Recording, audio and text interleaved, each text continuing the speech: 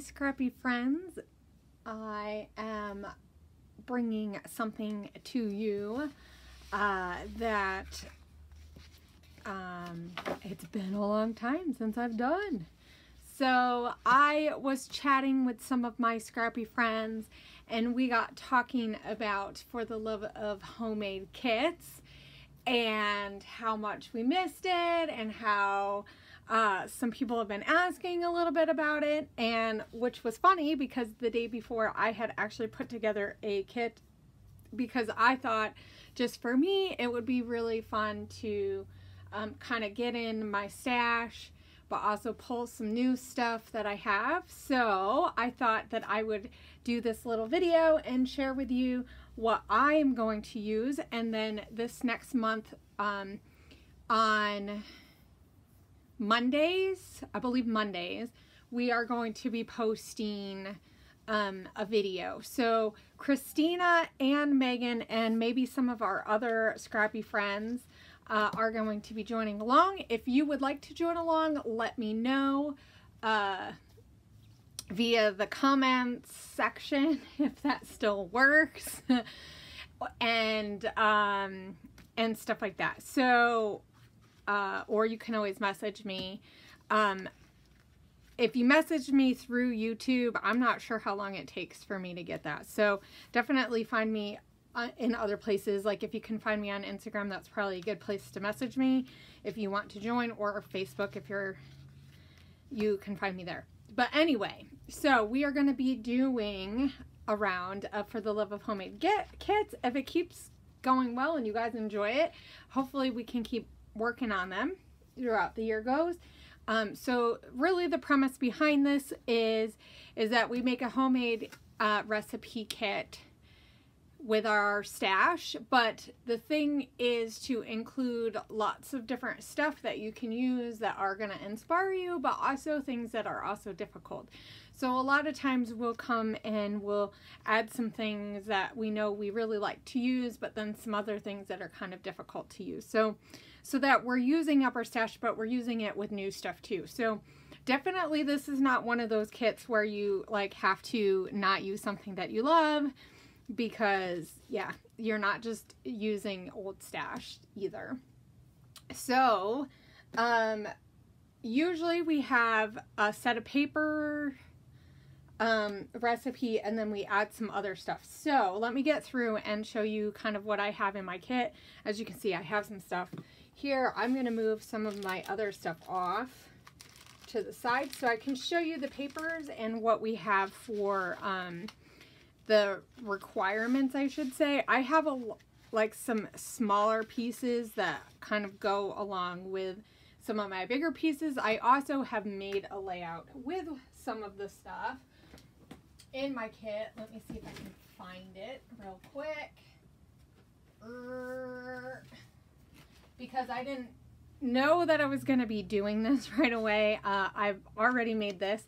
I did add some stuff that wasn't in my kit. And this is one of the things that I, I guess I want to stress is that if your kit, especially if you're getting down to the bottom, because um, if you're, you're getting down to the bottom on, of your kit and you feel like you need to add more, go ahead and do it because this is more about using your stuff, but using it in a fun way so this is a layout that I did for with a sketch for Khristina's uh, the Secret Not Secret Kit Club.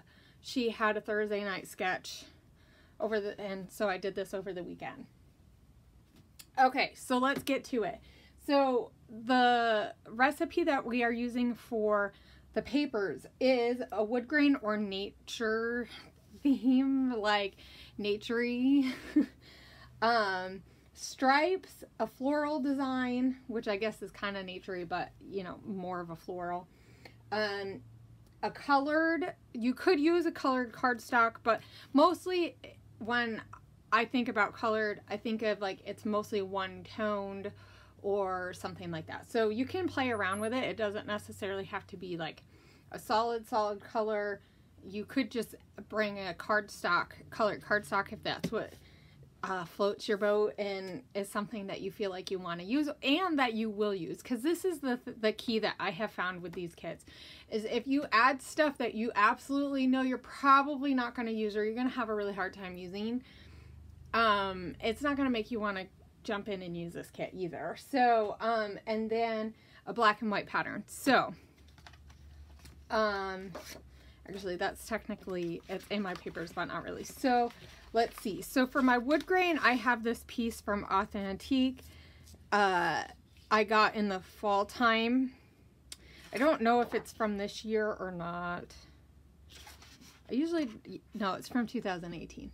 So it's a really pretty wood grain. It's, you know, it's Authentique. So I probably won't use this, but that is definitely naturey.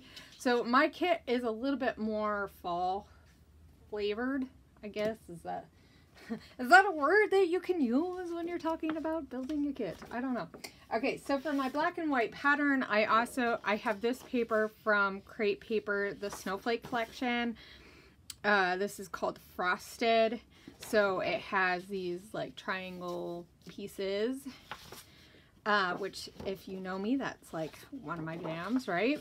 So, um, and then it has this on it. So you can use definitely both sides. I don't usually always think to match both sides. I usually just match one side and then go with that. And then if I decide I want to use the other side, like it's free reign, right? Um, okay, so I also brought in the smaller piece. Oh gosh. This is from last year's party collection from Crate Paper, or I should say this year, but it really will be next year. Um, I'm not sure what what the name of the paper is. So I only have like parts of it, but I thought that having like something like this would be kind of fun. And then if maybe if I wanted to, I could use some of this and I'll show you why when we get to the embellishment part. So I thought that it could be used for both sides. So then for my stripes paper, I added this paper from the One Canoe 2, the Willow collection. So this is newer from this fall. It's called Full of Joy and it's striped. So I've already used some of it on that other layout. But the other side has like this brown red color. So it's really pretty. But I really like the stripes. So I'm already dug into that. Um, for, I don't think I have any other, yeah, striped. Okay, so, um, for the floral, let's see, I picked this paper from the Heritage Collection, um, from Maggie Holmes. It's called Daughter. It's this, uh, like orangey, coral peachy color with that burnt like umber type color. Almost mustard so it's very fall like like I said this has a fall flavor to it. As you can see I have used some of it on that other layout. Um, so which is fine. Actually was it the other layout? I might have used it for a different layout. I used it already as you can see. Or maybe I used part of it a different time and then I just had some of it and just added it. Because that could have been it too. So um, one of the things when you're building this, it doesn't have to be a full sheet. I prefer to use more full sheets than non-full sheets, but as you can see, I have a lot of sheets that I've already cut into or I started using. So this one also was from that. Um, on the other layout. This was a full sheet and then I cut into it. So I thought either both sides work. This is from Felicity Jane. Uh, this is like an older paper, but I still had this one. And like I said, both sides actually really work well, but I picked it mostly for this one. So then I also have for, uh, I added this one for the, like the one colored one, even though it has like bits from other stuff, it's mostly one colored. It's really textured. And this is from uh, the Beautiful Chic collection from Webster's Pages from, gosh, this is like really old paper. oh, I don't even know what year. Oh, gosh. Like maybe 2015, maybe? I don't know. Something like that. It's it's an older paper, but um, I thought it, it kind of works well with some of the tones that I have. This side I probably won't use because I don't really see. I mean, maybe. Who knows? Maybe I could make it work. And then I also brought this in for like that florally look. It's not your typical floral, but uh, this one is from Dear Lizzy. So I only had a bit of that. So that's the paper. Um, one of the things that we are going to be adding into the kit, and I guess I can show you what I have pulled out, um, doesn't mean that I'll use it all. But uh, we thought it would be really fun to add either like some mixed media that we've tried ah, to do already, and now I'm just making a mess. Um, so mixed media that we've used already, or like we've made a page already, or a layout that we've started and never finished. So now with this set, obviously it's not going to have all the same colors and stuff the, of the stuff that you've put together in your kit, but that's where, you know, if there's something you know you've started and you kind of want to finish it, this is a good place to add it. So um, I have this one that is a cut file, and then I did a whole bunch of media on it. I had that sitting around in my stash. Actually, it's sitting around so much that it had stuff on it. I also found this one that I did. Like, gosh, see, like, I don't even know when I did this, but I stamped out some stuff over top of some media. Now, this, these colors don't really match all of them, so we'll see how this, if I use this one or not. And you don't have to use it, so you can pull something in and decide not to use it.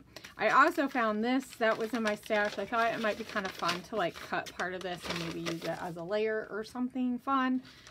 I made this on the weekend, so this isn't super old, but um, I probably will cover that up because I don't like, I started it and I didn't care for it, but I thought that this would be fun to maybe add in. And then I also had this that I did, gosh, a couple of weeks, a month, couple of months ago, something like that. Um, as you can see, some of my sequins fell. So I will probably re-put them in, but I did media and added the sequins into it. So that's why some of them didn't stick. But I thought maybe I could try to use that. So, um, okay, so for the embellishments, we have ribbon, or it could be like fabric or bows or something, but like ribbony. Um, something dimensional, a project life card, or some big uh, ephemera pieces, like the bigger ones. I know a lot of the kits now, collections now have a lot of big ones, and I don't use them very often, so I thought that that would be kind of fun to like try to add some of those to the mix, which is why one of the papers has like some card like stuff on the back. Um, also something with glitter, flare, uh, something florally, so like embellishments with florals on them, and then uh, some like word or phrase stickers. Uh, so that's like the embellishment type stuff. So let's go with, so I picked out some flares. I just picked some that I thought would kind of go. Um, and they kind of need to be used up because I'm noticing some of my flares are starting to look kind of funky.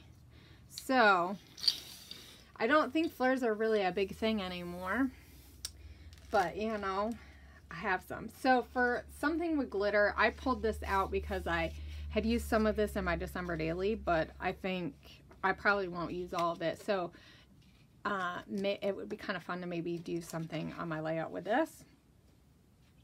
So that ended up, because let me tell you, I had a hard time finding embellishments that had glittery stuff. I'm not really sure how that happened. Okay, so let's see. I have a ton of embellishments because I just like embellishments. So I um, have these from, these are not color cast. these are actually from Felicity Jane. They're like, uh, you know, I don't want to say acetate because that's not what they are, but they're like the rubber charms. So some of the colors will go. Um, then I have this. This is my ribbon component. Thought that might be kind of fun to like use some of that. Um, I also pulled these little clips. Who knows? Because they're kind of dimensional. So I also have these from the Willow collection. So I thought these are dimensional or even like these little clips here. Uh, this is something glittery. So nice and glittery. And dimensional too, by the way.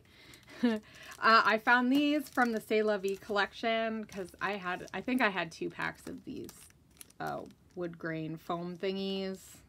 But they have glitter in them and they're really fun. I also pulled some of these floral pieces from a click kit that I had. They're kind of dimensional. I thought maybe I could make them work. I don't know. Um, and if I don't end up using it, I don't end up using it, and that's cool. It just goes back in my stash. So I also had these wood buttons from the Twilight collection. I pulled these out because some of, some of them have some colors that maybe I can use with the willow. I don't know. We'll see. So I also pulled out some pieces from the open book. I think I'm just going to add these in with what I have because there's a lot of like florally pieces and some bigger pieces that like I've not really used all I haven't used all of these this kit had such this collection had such a big uh, ephemera pack that I thought it'd be kind of fun to pull it out and maybe use it and see if I can get it to match with like the Heritage collection. So, but I also have this piece that has some floral on it and this one. I don't know if it'll work, but we'll see. I pulled out some other florally pieces from some ephemera packs from some of the older ones from Maggie Holmes. So there's some vellum pieces and then there I picked this because it had glitter on it. So, and then this one has floral, but it's kind of big too. So I picked some of those. Uh, then I picked this for like that florally aspect. I thought that might kind of be fun to layer with if I'm using some flowers. So these are some pieces that I picked for the big element. We'll see how those end up working it their way in there. And then I just picked out some puffy stickers for more dimensional type stuff. These are chipboard. I thought some of the colors I might be able to work, get to work with the other collection. They might not. and that's okay. Oh yeah, I also picked these from Maggie Holmes too, as far as dimensional. I just have a few of them, so we'll see. Eh. Sometimes I feel like I add like so much that it's such a huge kit, but I also put these goldenrod stickers because they have some of these, and but they also have some of these other ones, and I think the colors will go well. And then I picked some Ellie Studios. These are Pretty Little Studio um, Ashley Horton Bohemian Dreams word stickers. So as you can see, I've only used a couple of those. And then I picked out some of the Maggie Holmes ones that I had that are black and white. I thought the cream would go really well because they're using a little bit more cream-like stuff in some of the collections again. So it's a good place to use it so it doesn't look so odd, right? um, okay, and I think that's pretty much all of the embellishment things. It's a lot. I actually don't usually add this much, but uh, like normal, I go crazy on something. And so that's kind of what I went crazy on. So we also like to add some kind of mixed media component to the kits. And so uh, we, I decided, I shouldn't say we, I said, why don't we use like foil flakes or glitter? because I was trying to think of something that other people might have uh, more accessible. So to go with that glitter theme, we are using like chunky glitters or some kind of glitter aspect. So I have some uh, rose gold foil flakes. I'm to see if I can use that. But I also pulled out these like big mica uh, glitter, and this is just like a chunky glitter. So these are Vicky Boutin, and that's Heidi Swapp. So those are super fun. And then the last thing is alphas. I have a lot, guys. Um, because I, so this is what I, I suggested maybe for the alphas is using um, an alpha that is matches your kit. So matches some of the colors from one of the pattern papers or or picking um, an alpha that goes like is actually from one of the collections. I don't know if I have any that go with it. Actually, I don't think I'll use these probably for that. I'll probably use them for something else. So since this is already glittery. So I believe these are from a different Maggie Holmes collection. I have no idea which ones, but I really love them. So they're going in there. They might not be. They could actually be from Dear Lizzy. I don't know. So I have these gold glittery ones. I think it'll kind of go with all the glitter. Um, I picked these ones. This is not even a full sheet. So neither one of these are full. Um, which probably means that I'll have to go into my stash. And I'm okay with that. Like, adding alphas is really actually not that big of a deal. But I also added these because I thought the wood grain would go really well with just that fall theme.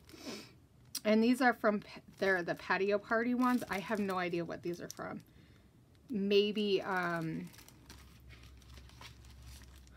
the Jen Hadfield collection, maybe? I don't know. So, I'm not really sure. They could go along with Twilight too, though. But I'm guessing they probably don't. So that is my kit, guys.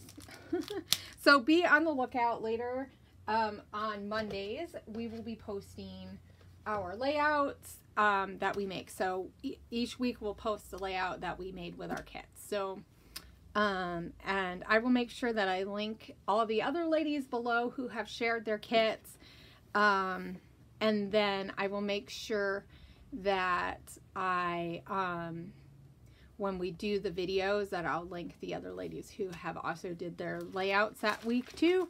Um, it might just be like their channel if they don't have their video done because sometimes we um, end up not having all the links ready like way ahead of time but especially since we're doing it once a week. But I will make sure that you guys can see all the other ladies that are participating. Like I said if you would like to join in for the love of homemade kits I guess are we calling this round like round two? Like take two? Take two. I like take two.